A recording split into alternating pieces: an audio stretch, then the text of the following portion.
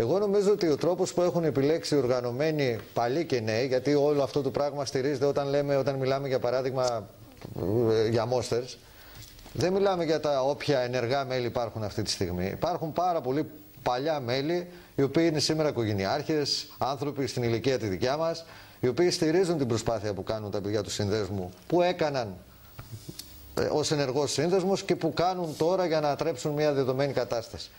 Ε, αυτό που θέλω να πω είναι ότι αποδεικνύεται εκ των πραγμάτων. Κάτι που δυστυχώς αποδεικνύεται εκ των πραγμάτων, κάτι που, που από την αρχή έλεγα ότι ο τρόπος που επέλεξαν να αντιδράσουν σε ό,τι συμβαίνει, εν πάση περιπτώσει στην ΕΑΛ, είναι τουλάχιστον αναποτελεσματικός. Δηλαδή, πριν από έναν περίπου χρόνο, νομίζω, Λάζαρε, αν θυμάμαι χρονικά, ναι. έγινε μια πορεία στο κέντρο, ένα συλλαλητήριο, το οποίο πραγματικά ήταν θαυμαστό. Ήταν 2.000 άτομα, χωρίς να δημιουργηθεί το παραμικρό. Ήταν η πρώτη αντίδραση σε αυτό που λέμε καθεστώς στην ΑΕΛ αυτή τη στιγμή. Ναι. Από τότε μέχρι τώρα έχει περάσει ένας χρόνος.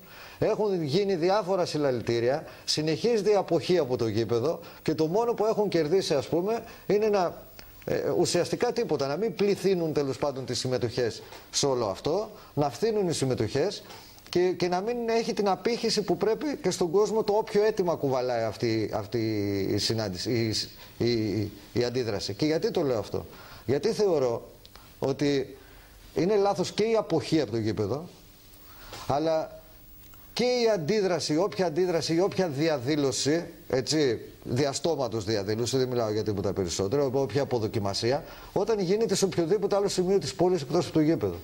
Νομίζω δηλαδή ότι έχουμε δει και σε διεθνές επίπεδο αντιδράσεις οπαδών εναντίον ιδιοκτησιακών καθεστώτων, οι οποίες εκφράζονται μέσα στην κερκίδα έτσι, με πανό, με συνθήματα, με μαντήλια, δεν ξέρω εγώ με οτιδήποτε άλλο. Έτσι, Αλλά με, τη, με τον κόσμο εκεί να στηρίζει αγωνιστικά την ομάδα και να αποδοκιμάζει το όποιο καθεστώς. Πάντως ο κύριος Κούγια θεωρεί ότι Σήμερα, όλη αυτή η λοιπόν, αντίδραση είναι κατευθυνόμενη και με στόχο να πιεστεί να, ο να δώσει την ε, το θεωρεί αυτό.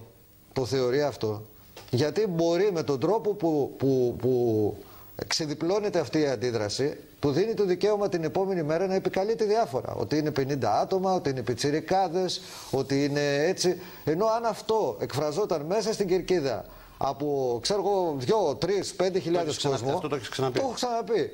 Τι θα μπορούσε να πει ο κ. Κούγιας; Έτσι. Ε, αν, αν αυτός ο κόσμος των 2, 3, 4, 5 χιλιάδων αισθάνεται έτσι και θέλει να αποδοκιμάσει ας πούμε, το ιδιοκτησιακό καθεστώς, γιατί δεν θέλω να το προκαταβάλω κιόλας. Συγκεκριμένο παράδειγμα, θυμάμαι και έλεγα τότε, μα ποιος νους το σκέφτηκε αυτό. Η, η επόμενη πορεία μετά τη μεγάλη των 2.000 που σου είπα ήταν πριν το περσινό παιχνίδι με την ΑΕΚ. Έτσι, έξω από το γήπεδο. Έφτασαν χίλια άτομα, μαζεύτηκαν χίλια άτομα γιατί ήταν και ο αγώνας και οι υπόλοιποι χίλιοι ήθελαν να πάνε να τον δουν. Μαζεύτηκαν χίλια άτομα έξω από το γήπεδο. Οι 600, 700, 800 μπήκαν μέσα να δουν τον αγώνα και έμειναν 50 άτομα να θέλουν να κάνουν, ξέρω εγώ, μπουκα και να δημιουργήσουν θέμα.